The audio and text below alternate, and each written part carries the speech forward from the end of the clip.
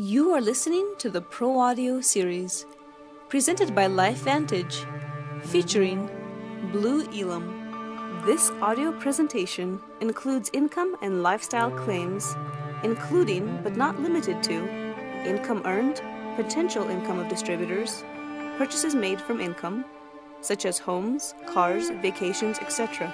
A complete earnings claim statement, which includes a summary of income earned by the distributors, can be found at lifevantage.com. All right. Um, I hope you don't mind me pacing a little bit. I have a friend that challenged me on my, my Fitbit. I'm a little bit behind because I've been sitting here, so I'm, I'm going to catch up. I don't like losing challenges for anything and a little bit competitive. And uh, so if I get going too fast, just stop me if, I get, if you get sick or get dizzy.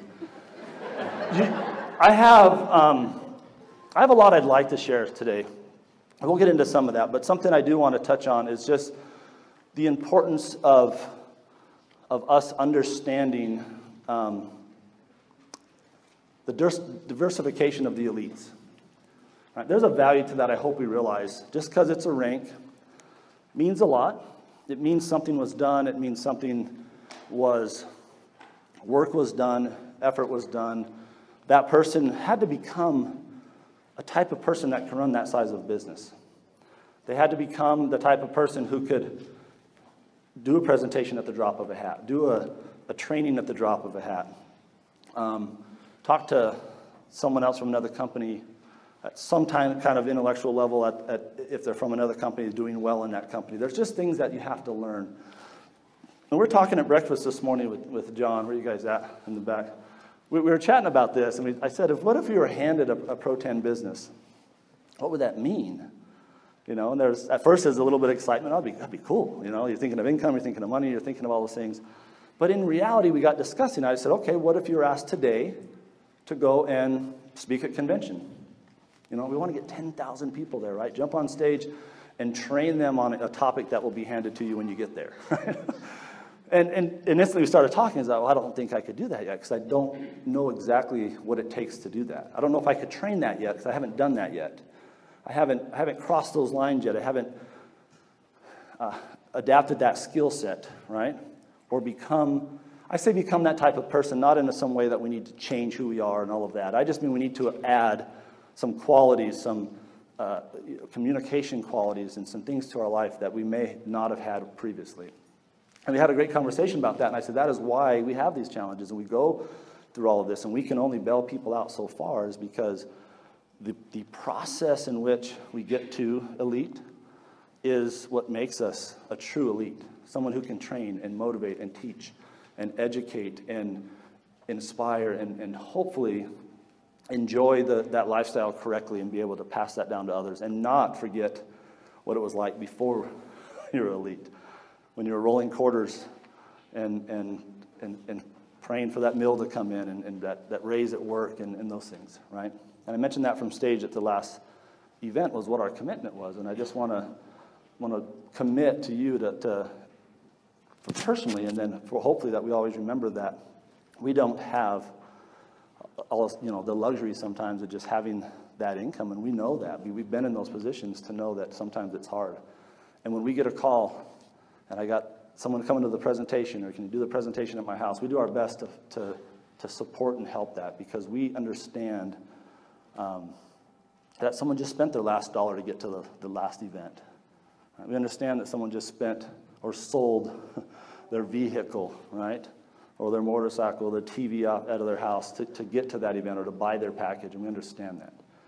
And so I have a lot of respect when we do the Pro 5 fly-ins, I know what it took to get to Pro 5. I have a lot of respect when we do the elite retreats and get to rub shoulders with other elites. I learn a lot from them. But um, because there is a lot of fun we have in this, we get to show people and individuals that we come from all different backgrounds, and it's okay. It's okay. Be, be excited from where you came from. Be excited for what you bring to the table. Be excited for your background and the things you learn and the way you grew up adapt some, some new principles if needed, but don't lose the things that already make you who you are. Just at any moment, be willing to give up who you are for who you really want to become.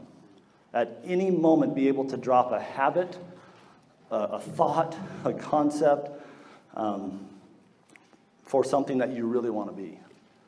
That's something we can't teach, we can't, we can't do. I'm okay, thank you.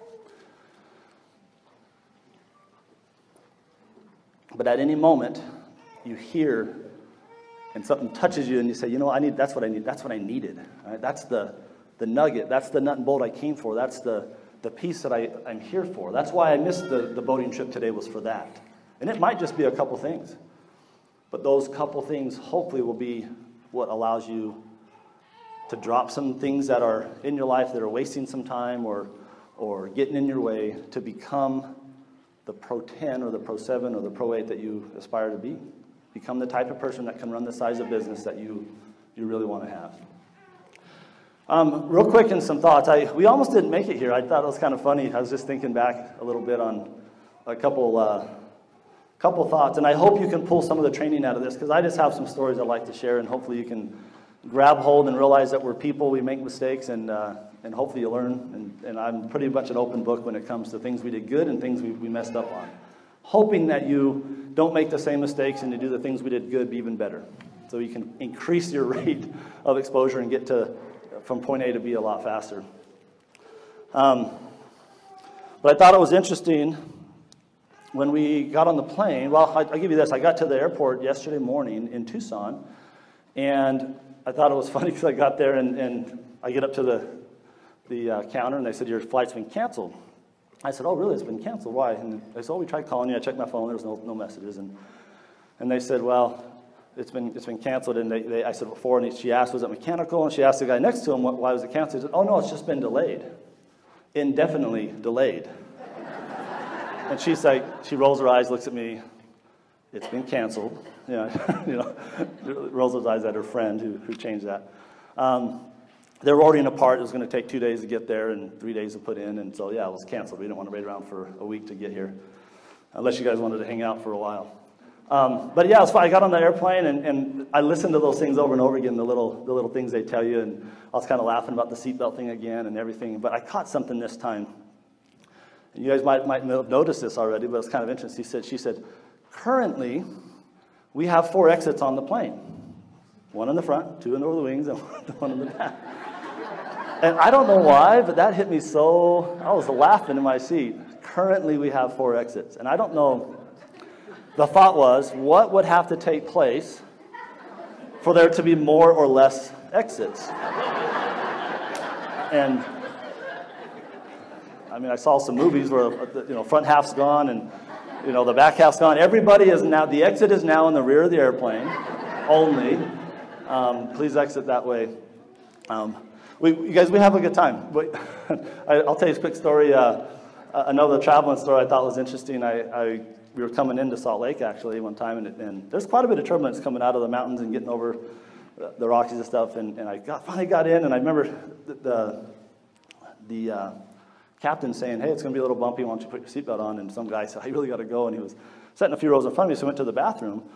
He's in the bathroom, and I remember the flight attendant's coming down, and she's walking down the aisle, and, and, uh, and I'm watching her, and, she, and we start hitting some big bumps, big bumps, big bumps. And it got bad enough that she, she looks over and sees an empty seat. She jumps in the seat and puts on the seatbelt where the passenger was sitting. And I'm just kind of laughing at that. There's a guy in the bathroom dealing with all the, the stuff right now.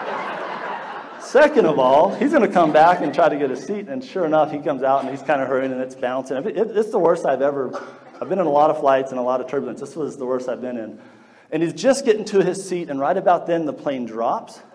He literally goes up and sticks to the top of the aisle with his back on the roof, hands on the seat. He's in the air. We come, we stop. He comes back down to one knee, slams to the ground, and this. And, and all this happens, and he's waiting for his seat. And I remember the, the, the flight attendant looks over and sees him flying up and down, and she's trying to decide do I give him his seat or not? I, I'm laughing. I'm, I'm trying to film the whole thing and get it all. She's trying to make this decision based on, um, you know, her life. What's more important at this point? Because if I get out of my seatbelt, I got to go all the way to the front. He's doing fine right now, hanging up and holding on to stuff. And then uh, I love flying, but I, this, these are some of the things that we just kind of laugh about. My business partner was in a situation once, got on a flight, very tired, long trip, sat down, fell asleep before they even finished loading. Right? You've ever had those days?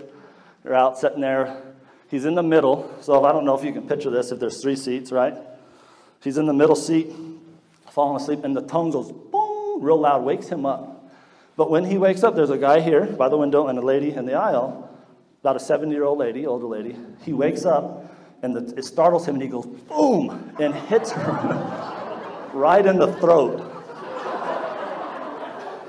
And she couldn't breathe. She's all, ah, ah, ah, and Cole thinks he's hurt her. She's like, man, I'm so sorry. And she's giving him this look. And the, steward, the flight attendant comes over, ma'am, do you need some help? And he's, she's pointing at him and he's like, I didn't mean to. And what happened? Well, I hit her, but I didn't mean to. I was sleeping. And he's trying to explain what happened. And, um, and I remember thinking, man, and, and normally when you're done and it's over and she realizes it was a mistake, she would say, you know, I'm so sorry, you know, it's okay, don't worry about it. Never did. Never even budged. I'm so sorry she's just sitting there. And Cole said, I am, there's no way I'm falling asleep again, knowing that she's just mad at me sitting right here next to me. And, uh, and when he told me that story, I realized I started making a list of all the mistakes that we've made along the way not purposely, but just mistakes and, and trials and things we've been through. Um, I was in a similar situation. Just I got on the story of flights this morning, and I, this came to mind, and, and I don't know who it's for. Someone in here might need it. But I was sitting in the middle aisle again, the middle row, and had to go to the bathroom. I was flying to Australia. Was it 12 hours? And uh, had to go to the bathroom. And I didn't. This was early on. I didn't know what airplane etiquette was. But when when both people are sleeping next to you and you have to go to the bathroom, what do you do? I I don't know. I still, I, I know now I can teach, I'll tell you, I'll mentor you what to do from here. but I didn't know what to do. So I just thought if I could just step over her carefully and go to the bathroom, nothing, no harm done. She's sleeping, it won't even matter. Well, right about the time I get up and I, I step over her, she wakes up while I'm straddling looking at her. Very uncomfortable situation for everyone around. And I remember thinking, ma'am, I am so sorry. I just need to go to the bathroom. And she's like, well, next time you can wake me up. So I learned very quickly when you're in a long flight, you, it's okay to tap the person next to you and, and, get out. They probably prefer that than climbing over them. And um, you guys, I hadn't, I hadn't even been in a plane but a couple of times before being in this industry. Only left the country a few times to go down to Mexico with my family, and, and, uh, and we've been able to see the world. We've been able to go places and see things that, that are amazing. And we've had a lot of fun along the way. And I hope this leads to a, a quick thought. Um, and I, I, I, share this because I think after talking to people here, it's something that was needed. Listen to how this, uh, listen how this sounds and see if it relates to where you are in your business right now. For a long time, it seemed to me that life was about to begin, real life, but there was always some obstacle in the way something to be gotten through first, some unfinished business, um, time to be served, a debt to be paid. At last, it dawned on me that these obstacles were my life. This perception has helped me um, to see that there is no way to happiness. Happiness is the way. So treasure every moment you've had and remember that time waits for no one. Happiness is a journey, not a destination. Okay, I've shared that a few times, and the reason I do is because a lot of times I hear, and I've talked to probably 15 people here, and, and this has kind of been my answer, right? I think there's this miscommunication that when I get to seven, then I'll be happy. Then I'll be out of debt. Then I'll be able to spend more time. Then I'll be able to, to have everything I want, have all the time I need. Or when I get to Pro 10, then and, and only then will I smile and have fun and be happy, right? And I hear that or see that in a, in a lot of individuals along the, the way. And one of my biggest goals in, in hoping to, to speak publicly and, and help people is just to realize that, you know, when I look back now, the moments that we laugh at and have the most fun were the, some of the most stressful moments I've ever been in. And, and I have hundreds, right, with tons of, of examples of times where we were put in positions that were uncomfortable at the time, but after growing through them and becoming a better person because of them, we end up in a place that isn't from sadness to happiness, right? It's, it's realizing what happiness really is, what a perspective of what's going on really means, and how we react to something that's been acted upon us. Our reactions are, are key. And, and I bring that up just as a, as a mindset before we do anything, because I really think we have a lot to be happy about with LifeVantage. Um, and I'm not talking about settling. I love the information we have so far about what can be accomplished and the freedoms that can be there. We know those things, we felt those things, and I can tell you they're real. And money can't buy happiness, but it sure makes things easier when you're not stressed and worried about bills and worried about some of the things that are, are constantly on your mind now. You can have a little different focus, and I do agree that things change along the way. But don't wait for your friends to see you happy, for your friends to want to have what you have, even at a Pro 3 or a Pro 5 or a Pro 7 or whatever that rank is. I, I sometimes think that people say, well, I have a hard time, and I heard this today, I have a hard time, you know, in telling my friends all about this because I'm only a Pro 1 or only a Pro 3 or only a Pro 5 and, and don't make the kind of money you make, so I have to have one of you in the room with me so that they will understand. And there's some individuals that that might be true. There might be some individuals that, that need to see that, but most people just need to see that the community, the, the feelings we have here, the things that are going here on, on here are unique. And, and when people come, they feel that. They can, they can feel there's something special. And they can find what they're looking for, sometimes without just, just the paycheck, right? They can find things in health and happiness and, and a culture along the way to financial success. And so, just a quick point I wanted to point out. One thing I wanted to discuss just a little bit is, is that behavior or the, the ability to adapt and become a 7, 8, 9, and 10, and, and what that looks like along the way. Because I think there's a set of skills that comes with that. I used to describe it as these phases, right? I mean, you might have heard that on some of the pro audios. And the downfall with the phase is we think it's a checkbox, right? Oh, I finished phase one, now I'm in phase two. So that might not have been the right word, but it's definitely a, a, a progress to be learned. For example, if you want to be a surgeon, when you go to school your freshman year, there's certain things that you will not be learning your freshman year that you will be learning, you know, maybe eight years down the road. There's things you have to have, skills you have to have, abilities you have to have before they can teach you the next step. Fighting fires is the same way. When, when we got to our, you know, 4,000 people tested for 50 positions on the job, I think there was 3,200 people tested that year.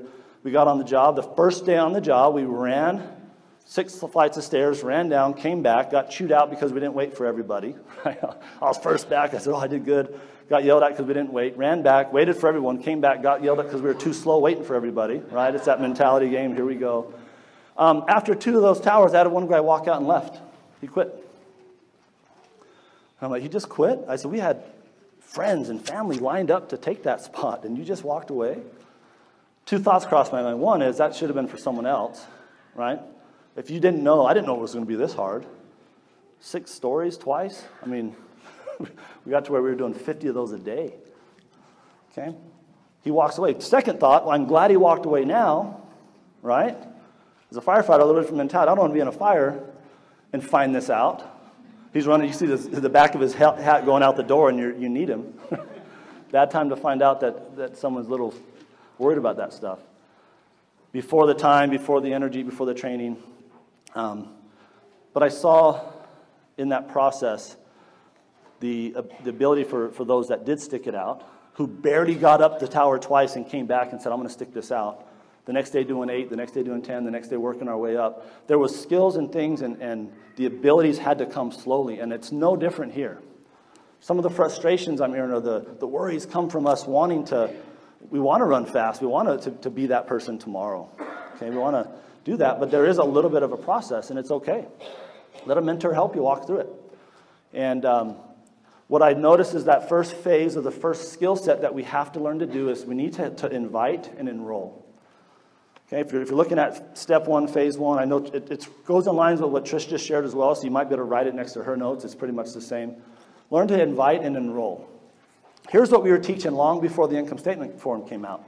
What rank can you become by inviting and enrolling? If you are good at inviting and enrolling people every day, what rank do you think you could get to in the company by just owning up and, and, and perfecting that, that behavior, or that skill? Pro three? That's what I have down too. And I, have actually asked this to a lot of people.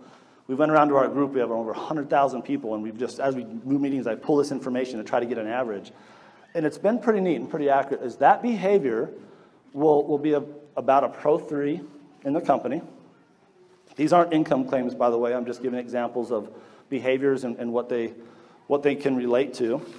And when the income statement form came out, we were teaching before this that, that a Pro 3 um, or that behavior or that rank will make hundreds of dollars a month.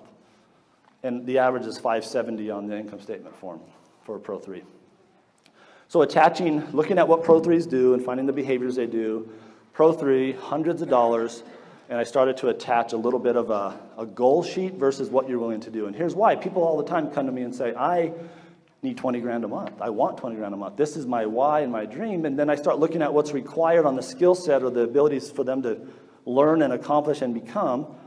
And they're not willing to do some of those things, right? So I just have this conversation about what we need to do and what, what will come of that. I've learned in network marketing, the only time I've seen this be negative is when somebody's per, there's perception of what they're going to get doesn't match what they're willing to do. Does that make sense? It's the only time I've seen it negative. I, I was expecting 20 grand and sitting at home on the couch, I didn't get it, and, and it must not work. okay? I, I love that concept because I just want to make sure that people understand how to get there. I don't want them to lower that goal, but if they're not willing to get off the couch, I need them to, or else they're going to have a bad experience. Okay? But if their willingness matches what their, their goals are, then they're going to have a great experience. So think about that for a second. Second phase or skill set is to teach and present. You need to be able to stand in front of a group and, and, and somewhat intelligently in your own way, in your own form, do a 20, 30 minute presentation on the company timing trends, product compensation, and system. Be able to explain those things so you're no longer waiting for someone to come, waiting for the next person to come to town, waiting two weeks for your sponsor to get there. And what rank in the company or income do you see by those that are standing up in front of groups with a marker and doing presentations? 15 a month, more than that a month. What rank do you think is associated with that behavior? Pro 5, huh? I, I kind of hear that chant out there. And maybe more or less, right? But I understand it. Okay. What are Pro 5s? And again, we have an income statement form, so these numbers are averages 2250. We used to th- teach thousands. That behavior will bring you thousands of dollars a month. The third behavior or, or mindset or thought is a mentoring and training skill set. Do you see now why I, I change it from phases? Because I think some people think, oh man, I'm done enrolling, now I'm a, now I'm a presenter. And they would check the box. and they were misunderstanding that that's not so. It just means that you've perfected this skill, and anytime you need to do that, or anytime you find someone on your list or you think of someone, you can go back and, and you you've, you've owned that skill. It's part of you now. You've become that. You can do that. But people that get stuck, that too many people say, I, I, I want thousands of dollars a month, but I'll never do a presentation. I'm scared to death to present. What's my response? We need to reduce what you're willing to have or increase what you're willing to do so that they match. I hope mentors are doing that so that we have positive experiences and we're managing those expectations. That's my definition of managing those expectations. Mentoring and training. What rank do you think you could hit by doing a good job at mentoring and training others? And what I mean by this is you, you take people who are inviting and you teach them how to present. You train them to be presenters. What rank do you think comes with that? Seven? What do sevens make on an average? 10,000 10, a month? Over 100 grand a year? Okay? And I, just think about this for a minute, because I think this is the best way. I think you got a lot of how to's today. I'm just going to kind of give you a concept and maybe summarize everything today and put it in perspective so that we know what we need to go out and do next. Okay? What phase we're trying to get to, what skill set we're trying to adapt so that we can increase our rank, our income, whatever's associated with that, our abilities, you know, the person we are, and, and the, the people, the number of people we can help. I think those things are attached. But I, I really think that there's a lot of people that want that 10 grand a month, but in reality, they're going to say, or, or, you know, I'll present or I'll do this, but, you know, they, they're just not sure if they can do the skill set that's attached. And once they see it, then I hope they own up to some of those skill sets or, or make their goals fit. Here's some questions that you can ask yourself. Alongside of those, phase one, here's a question you can ask How many people have you enrolled? This question might be for you personally, so that you can uh, evaluate yourself to see if you've if, if you're good at that phase, if you're in that phase, if you've you know, accomplished some of that. If you have 10 brand new platinum packs, I would say that you could, you're going to move over to that next phase and start running because those 10 platinum packs are going to need your help while you're presenting. Right? They're going to be inviting, you're going to be presenting, there's going to be some, some connections. It doesn't mean you can't enroll 10 more, it just means that your time will shift a little bit into a, a different skill set. Okay? How many people have I enrolled? Second one, um, how many presentations did I do last month? Ask yourself that. How many presentations did I do last month? Open your calendar, and there's a number. Okay? And how many am I going to do this month? Whether they're booked or they're going to be booked, how many presentations am I doing a month? And the last one, how would you know if you're mentoring people? What would be a good question attached to are you mentoring those in your group to present? How many people in my group are doing presentations? How many people besides me are doing presentations? While you write that down, think of this. I'll give you a, a, a live example. I had somebody come up to me after an elite academy, came up front, waited in line. It was kind of fun. Two or three people waited. He came up. He said, I just have a question. I have a little bit of an issue. I'm just getting everyone's advice. I want to know your advice. The problem is we only get a two minute conversation when we have that situation, right? Two minutes, and we want to talk to as many people as we can. Very simple. I hit Pro 3 excuse me, I hit Pro 5, this is what he told me, in less than three months, and was Pro 5 for, at that point, it was almost a year. Okay? Um, here I am trying to evaluate this as quick as I can and give some kind of thoughtful advice that might help. And first question I said, well, how many have you enrolled? Right, there was a number, it was a great number. How many leaders have you enrolled? If you want to add that word leaders, it, it might change a little bit on how we think of just the numbers of people we enrolled, going back to Trisha's example, it's not just 10, but it's those two to three or four out of the 10 that are actually what we're looking for. But how many of you enrolled? There is a, a process we have to go through to do that. And told me the number, it was, it was high, they're all doing great, there's a lot of leaders, it was great. Second question, how many presentations are you doing in a month? Okay. Hitting Pro 5 in less than three months, what do you think his answer was? 30. 25 to 30. He showed me his calendar. It was full. It was, he, was, he was doing those behaviors. He hit Pro 5 that matched that behavior. Okay, third question. I want to see why not six and seven in a year. How many people on your team are doing presentations? What do you think that answer was? Got offended a little bit. He's like, What do you mean? He's like, I do a great presentation. All right? You hear this in yourself What do you mean? I do a great presentation. I, am everywhere. I'm, I'm at this city, I'm this city, I'm doing 30 meetings. No one in my group's suffering. I'm in all their cities and all their areas. And, and I've been doing that for, for, for a long time. And I'm getting, I mean, it's, it's tiring. It's 30 a month for that long. And it was that simple conversation. I said, well, in my experience, the Pro 7 behavior is a mentoring behavior, and they teach people to teach, teach people to be in those ranks and, and to, I mean, to uh, be able to, to communicate and do a, a presentation. My simple advice to that person was do not do a presentation the rest of this month or next month without having somebody do half of it with you. Keep your schedule, bring them up, edify them, let them do what they feel comfortable with, sit down, and, and it's going to be hard. He said, and later on we talked, it was the hardest thing he said he's ever done to let these, these new distributors start to duplicate and start to become a leader. And he sat there and said it was so hard because they're messing up. And I know I can do better than them. And I'm sitting in the audience and there's a guest right here who's not getting it. And I knew I could have helped that guest. Right? Sometimes we tailor it to the one guest, not realizing that if we train one distributor to be a, a, presenter, that's going to happen 15 to 20 more times every single month. Right? It's going to duplicate and happen over and over again. What if you teach 15 people to go do 15 to 20 a month? what happens to your business? It becomes the type of business that looks like a Pro 7. It's the only way to get to Pro 7. It's the only way to get to that rank. And these meetings are unique, you guys, because we have distributors that have just signed up. We have Pro 7s and Pro 10s in the room. And so we're, we're talking to everybody. And so I hope somewhere along these, these examples you can pull out the example that, that hits you, right? What, where am I right now in my business? And What do I need to do to get to the next phase? What am I willing to do, become, study? You guys, I had a guy literally wanted the world in the company, stood up to do his first introduction in his home to introduce me to do the presentation. He stood up, said, This is blue, and he looks over and everyone looks at him. And he goes, Oh man. And he starts getting nervous, and I can see it. And I can see the blood leaving his face. and white. I just go over and stand by him. I grab a hold of his belt loop. He literally passed out cold, standing up.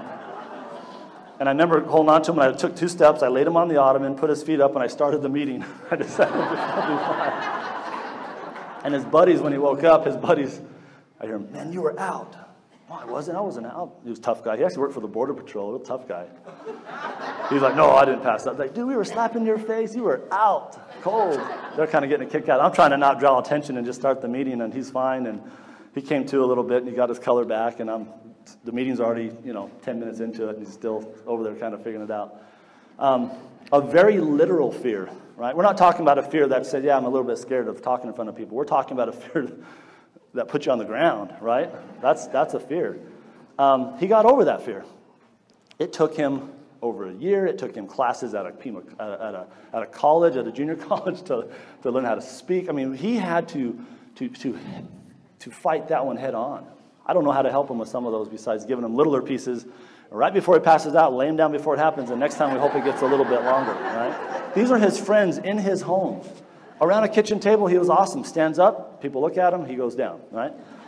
So my point is, it's not that I understand that some of those fears are real. I guess that's my. I understand, I try to understand that they're real. I also understand that we had some of the same fears and we just looked at them head on and, and overcame them to get over those. Um, a leader, one of my favorite quotes might summarize some of this as well. A leader is, is close enough to their team to relate, but just far enough ahead to inspire. I read that one day and it hit me so perfect because a leader is close enough to their team to relate, but just far enough ahead to inspire.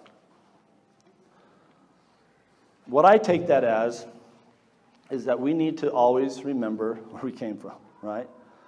So that we can relate. And I'm okay sharing stories and mistakes we made and goofy things we did. And, you know, I, I don't, I love that. Actually, it helps me because we just had a conversation with a gentleman in the back of the room about, you know, when we hit those little ruts, what gets us out. And for me, I had mentors that were on stage that I could relate with. I had a few key mentors. Eric Albertson was one of those that I, I understood his background, where he came from, what he did, hobbies he did, struggles he had, and I related. And it helped me to realize that it's not us and them. I hope you don't see a line up here and we're us and them. We, we try to eliminate that. We want to be close enough to you that you can relate to what we had, what we have, the trials we've had, the amount of kids we have, the amount of you know, meetings we had to mess up on before we could kind of figure it out, the amount of times we made mistakes. We want to relate. We want you to know that that is you, and it's okay. You're, you're nowhere different than we were. We just maybe a little bit ahead of that time frame of doing it longer, right? Or, or, or correcting little things quicker, or whatever that might be. The second thing is we want to be just far enough ahead of our teams, or you want to be just far, far uh, you know, ahead of your team so that you can inspire them, right?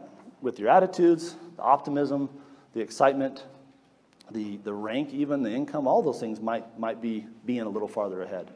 But it's a way to relate to your team and to be able to have and hold on to, uh, to some of the, the key points that allow your team to be inspired and to look to you for for support and guidance. One other thing, we get asked a lot, you know, what did you do different? Here's what I've been doing, but what did you do different? How did you hit this rank so fast, or what did you do? And, and i thought about this a lot because I had some long answer and it was different every time, and I'm, you know, trying to think in the lines of database and inviting and presenting, and, and we stepped up into some of those roles quick, right? My first meeting was 12 minutes. That's all I knew. 12 minutes, six people there, four people signed up right? I really think that if I would have left it at 12 minutes, it, it probably would have helped. but we learned more, we explained more, and, we, and pretty soon the friends in the room are thinking, oh, I got to know all that? Nah. First meeting, 12 minutes, I'm in. I can, I can say what you just said, right? Something to think about a little bit. But here's the, what I contribute, the number one thing to, to the to rate of, of your growth It's going to matter right now with, with what's going on in the company. It's going to matter heading to convention. It's going to matter in your own homes and own um, personal towns here. It's the, I call it the, the three attitudes, right? the first attitude, for example, you know, there's a master class on Saturday. Okay? Bring your friends, it's going to be awesome. Right? That, that happened to you sometime this last week or months ago or somewhere that happened, right? Here's no, attitude number one. You can write these down, I think they might help. Attitude number one I will be there. Is that a good attitude? Great attitude, right? Because there's a bunch that don't even get that far. I will be boating. I will be gone. I don't quite, you know, I'm busy or whatever. I will be there is a great number one attitude. Number two, I will be there and I will have guests with me. I will bring five people with me. I will have a car full of people with me.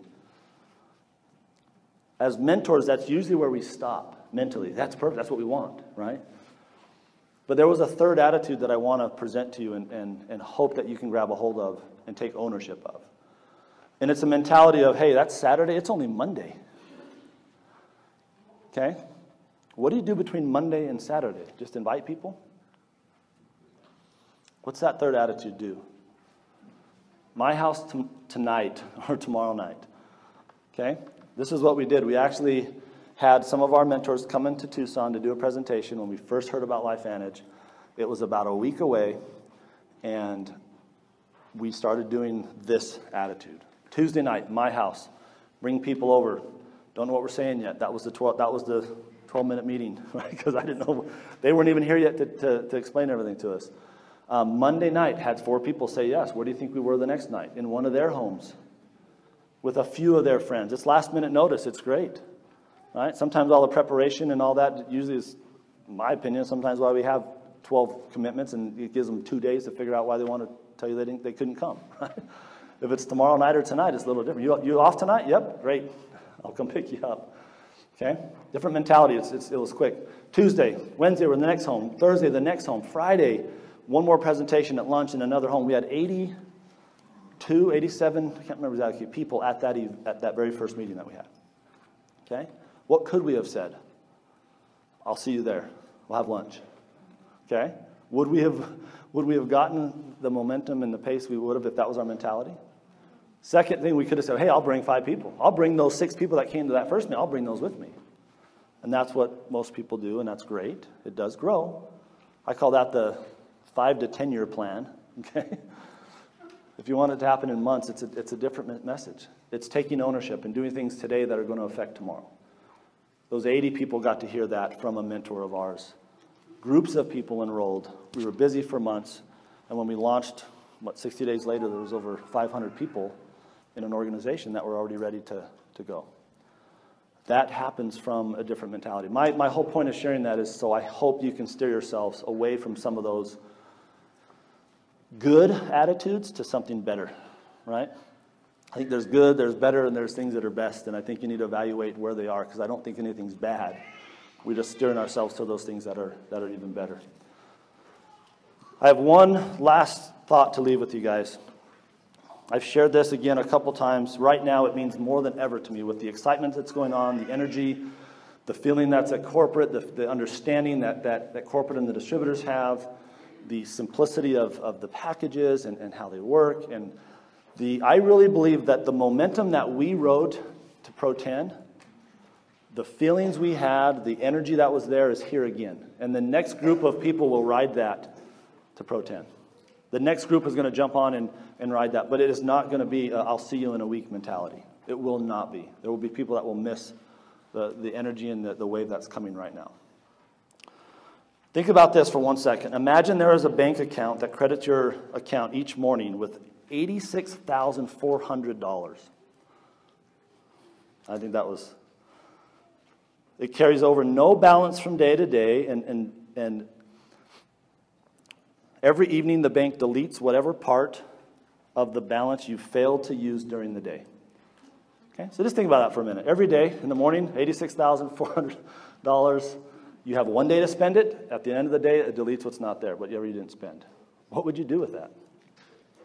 What would you do every day? There wouldn't be a penny left in there, right? you'd use what you could and give the rest away or do something. You would be using every bit of that. You would draw out every cent, every cent. Each of us have such a bank. Its name is time. Each morning it credits you with 86,400 seconds.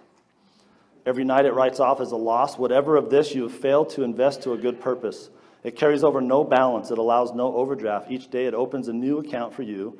Each night burns the remains of the day. If you fail to use the day's deposits, the loss is yours. There is no drawing against tomorrow. You must live in the present on today's deposits. Invest it so as to get from it the utmost in health, happiness, and success. The clock is running. Make the most of your day. To realize the value of a year, ask a student who just failed a grade. Talk about time for a minute, right? To realize the value of a, of a week, ask the editor of a, a weekly newspaper. To realize the value of an hour, ask two lovers that have been waiting to meet. To realize the value of a minute, ask a person who just missed a train or a flight, right? It happens. To realize the value of one second, ask someone who just avoided an accident. And as a firefighter side of me, I've seen the other side where that second can go the other way. It's a split second. To realize the value of a millisecond, ask the person who just won the silver medal at the, at the Olympics milliseconds, right? Heartbreaking milliseconds. After so much training and heartache and, and push and, and energy, they missed it by a millisecond, right? Treasure every moment you have and treasure it more because you've shared it with someone special, special enough to spend your time. And remember, time waits for no one. Yesterday is history, tomorrow is a mystery, today is a gift. That's why we call it the present. I, wanted, I want to close with that. I hope that you guys, and I say you guys and us, I mean, we are in a position right now that we all have an ability to capture something special. But it's only going to be from an attitude of what am I doing today with that millisecond, right? with those hours and minutes, and what are we doing with those? Because I really, and Seth told me this, I don't know if he remembers exactly, I, I wrote it down. He said every hour we spend this year will probably take about, I think it's a 25 or 26 hours. I remember we were kind of calculating it out. It's kind of fun to think about. It's just an example and a concept, but it's going to take almost 20 hours to replace that hour next year, especially in this business, right? If you work hard this year and, de- and develop a team and take that team to convention and set it in the room at convention, let your team take ownership and let your team feel what we're feeling and let them come home and without you trying to explain the excitement that was there, they get to, you have 20 people now explaining what's going on instead of you doing that by yourself. I will go, I will bring a few with me, or let's work today, do a meeting tomorrow, do a meeting the next day so that the entire our entire street and city and, and friends and all the people who live can go to that event. Because those hours we spend now, the 20 people we spend get to get there, what if we get those 20 to the next one and lose that time? Or what if we bring those 20 next year when we finally realize how, how great this is and we wait till then to start? It's going to take 20 times the, the time to try to catch up to what we could have done if we started today. So I leave you with that thought, you guys. I, I will tell you this has been amazing. I, I, it, I, try not to echo everything that was already said. There is one thing I will say, though. There's been times in my life when I, I knew I was doing the right thing, but it felt very, very weird, very hard. It was hard for me to do. To leave my family to go to work to support them. I knew supporting them was the right thing, but going to work at the firehouse for a 24 hour shift and leaving my wife and kids at home was hard. But I was doing it. If you said, What's more important, my wife, my family? I mean, my family or, or work, what would your answer be? Every time. Family. Right? What's the first thing that goes on your calendar if you're working a job? Work. Right? It is more important, but in the reality, priority wise, it's not. It, it, our work is a priority to support them.